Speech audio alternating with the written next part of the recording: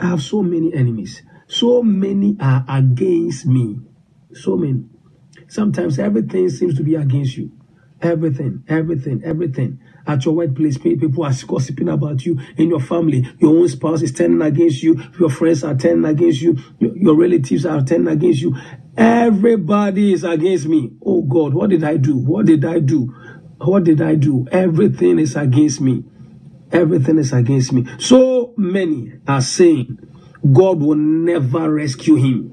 Many are saying many your husband your wife your children your friend many many many people are saying and are speaking that god will never rescue you from this problem this current problem you are going through god will never rescue you so many are saying god will never rescue him have you come to the place whereby people say, with all these prayers, with all these prayers, when at all will your God cause you to marry? With all these prayers, when at all God will give you a job? With all these prayers and fasting, when at all would you see your miracle? With all these prayers, when at all will you have your testimony? With all these prayers, when are you going to pass these exams? When are you going to finish the school? Your God will never rescue you from this problem. Hey, my brothers and sisters, this is heavy. You have so many enemies, and your uh, enemies are saying, God will never rescue you. You will never be healed of this sickness. You will never come out of this problem. You will never be able to marry. You will never be able to fulfill your destiny. You will never be able to have peace. Many are my enemies, and they are saying things. They are saying, they are gossiping that my God will never, oh God, they said you'll never go. Because with all this, you, you just finished one week prayers, one week fasting and prayers. How come your God has not rescued you? You just finished a one week fasting. How come God has never given you a miracle, your breakthrough? How come you have not received a job? How come your husband is not back home? How come your marriage is not restored? How come you are not pregnant? How come you have not passed the exams? How come the court case seems to be working against you? Your enemies are saying that even your own God will never rescue you. This church, you have been going to church, giving and tithing and all that, you are wasting your time. Your God will never rescue you. Oh God, many are my enemies. And they have the audacity to also say that my God, the God of Abraham, Isaac, will never rescue me. Is that your story today? But I just came to tell you do not be troubled, do not be afraid, do not be discouraged, for the Lord God Almighty will silence your enemies. The Lord will put your enemies to shame. Then he goes on, he goes on. But you, oh Lord, ah, I like it. This is where, this is where I'm coming. This is where the whole ball game turns around. This is where the change happens. But you, oh Lord, before he said, but you, he says, many are my enemies. Many are my enemies. And they are saying things. And the things they are saying, it is true. I am not married. I am still sick. I'm still unemployed. I don't have money. I am still in debt. I can't pay the. Whatever they are saying is true. And they are saying God will never rescue me. And it seems as though my God has given up on me. In fact, Jesus came to that place where whereby he felt as though the Lord God will never rescue him. And that's why he cried out to see, Eli, Eli, Lama Sabachthani, my God, my God, why have thou forsaken me? Jesus even felt it. Jesus himself felt it at a point in his life that his heavenly father had forsaken him, has neglected him, dejected him, rejected him. And therefore he cried, Eli, Eli, my God, my God, how, why have thou forsaken me? And then people were saying, like they said here, God will never rescue. He says that if you were helping others, how come you cannot help yourself? If you were healing others and delivering others, how come you are not helping yourself? And how come your God is not coming to help you? You become a laughing stock, a mockery, a byword, a gossip talking point. People, when you pass by at your workplace, then people begin to gossip. And yes, you always carry your Bible, telling them you are going to church, telling them you have church programs, telling them how Jesus, and they're saying that your God is not able to rescue you. After saying God, God, God, God, God, at the end of the month, you are still borrowing money from us, we unbelievers. We with you saying God, God, God, God, every day you are the one being a bridesmaid. When at all are you going to get married? Well, to get this God, God, God. The last time you took the exams, you failed again. You were a mockery. So many are saying God will never. If I didn't say God will not rescue, God will never.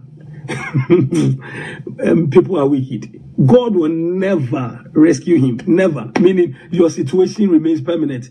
But who is he that speaketh? And it comes to pass when the Lord hath not spoken. Who are they to tell you that God will never? Who, who, who told them to say it? Who told them? It is only the counsel of God that will stand. So today I came to encourage you. Do not take in. Some of us, we have taken in these negative words from our enemies and we are depressed. We are discouraged. We feel hopeless. These negative dreams that we have had is discouraging us. But then David builds up his faith in the Most High God. But you, O Lord, you are my shield. You are a shield around me. You are a shield around me. But you, O Lord, are a shield around me. But you, O Lord, many are my enemies, and many are the things they are saying. But you, but you, I, I don't fix my eyes on them. I don't listen to them. But you, O Lord, are a shield around me. Do you know why he's talking about shield? Because the Bible says that through our faith, which is our shield, we can quench all the fiery darts of the enemy. So even though many were his enemies, arrows they were speaking and projecting into his life. Um, David is saying that, but the Lord God Almighty is my shield and he's around me. And therefore it doesn't matter what they are saying and how many enemies are around me they cannot touch me.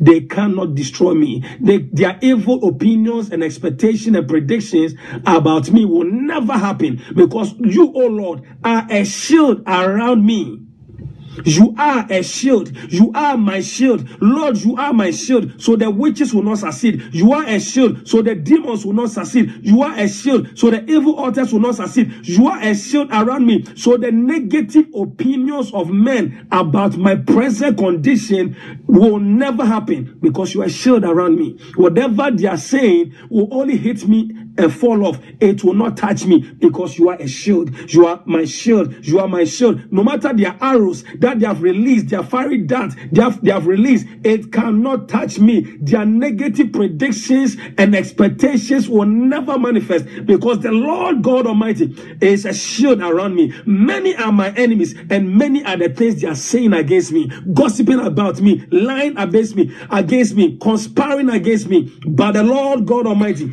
is my shield. He's a shield around me. He's a shield around me. And for that, that reason, I'm able to quench all the fiery darts. You are my glory. You are my glory and the one who holds up my head, the lifter Let of the my fire head. of God consume into ashes every demon and witchcraft spirit influencing my spouse to divorce or be separated from me. Catch fire and die in the name of Jesus. Let the fire of God locate and consume any persons or demonic spirit working behind the scenes to destroy my marriage in the name of Jesus. Every spells and charms controlling me to destroy my marriage break by fire now in the name of Jesus. Amen. I command every witchcraft spirit controlling my spouse to destroy our marriage to catch fire and be destroyed in the name of Jesus. Let the fire of God consume and destroy the spirit of lust, pornography, masturbation, and all sexual immorality controlling my spouse in the name of Jesus. I command the fire of God to consume and destroy the spirit of adultery controlling my life in the name of Jesus. Every bad advice given to my spouse by friends and relatives, let it be consumed by fire in the name of Jesus. Anyone who has ungodly soul tie with my spouse, let it be consumed and destroyed by fire of God in the name of Jesus. I destroy by fire of God every witchcraft spirit controlling and manipulating my spouse's actions and behavior to destroy our marriage in the name of Jesus. Catch fire and burn into ashes in the name of Jesus. Amen. I release the hot burning wind of fire to drive out from my spouse's life bad friends and relatives in the name of Jesus. I release the hot sulfur fire to drive out from my spouse's life every strange woman he is having an affair with in the name of Jesus.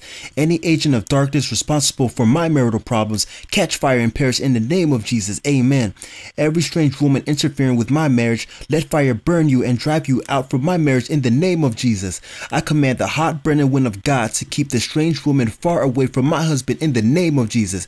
If she ever comes close to him, let the fire of God burn her and keep her out in the name of Jesus. All witchcraft charms and spells that have been done to my husband to steal his mind and his love from me, I command the all consuming fire of God to burn them into ashes today in the name of Jesus. This book is an emergency marriage book to help you rescue your marriage from the spirit of divorce and separation.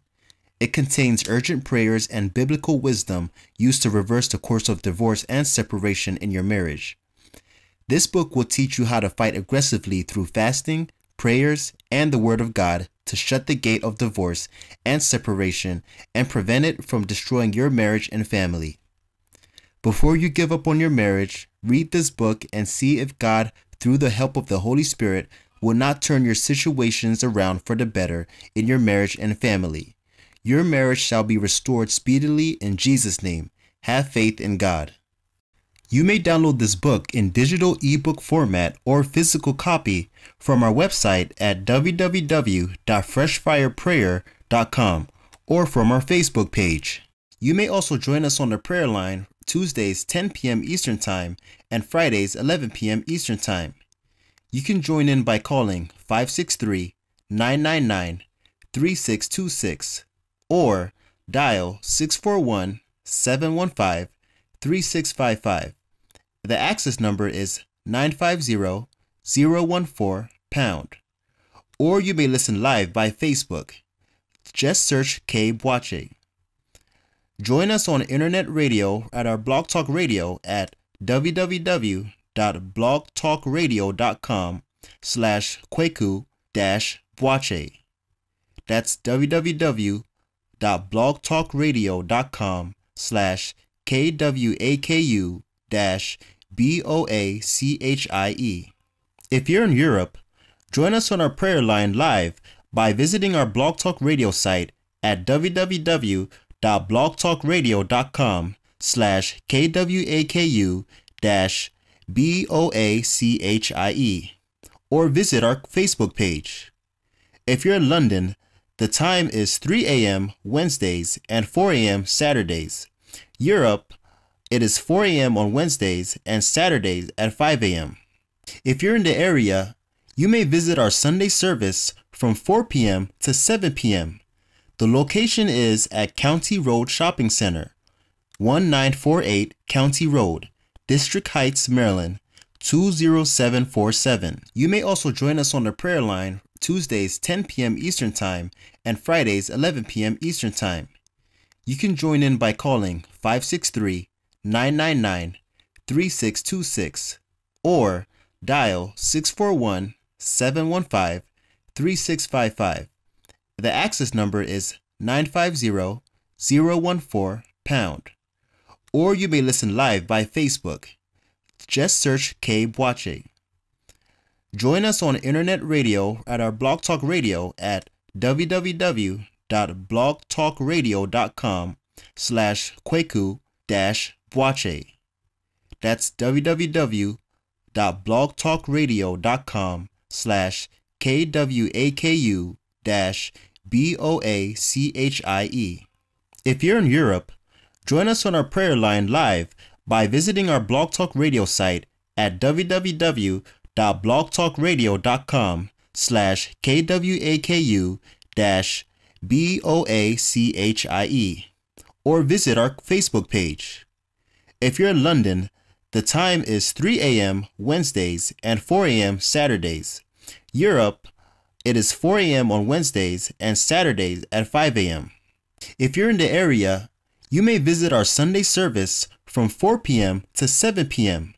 The location is at County Road Shopping Center, 1948 County Road, District Heights, Maryland, 20747.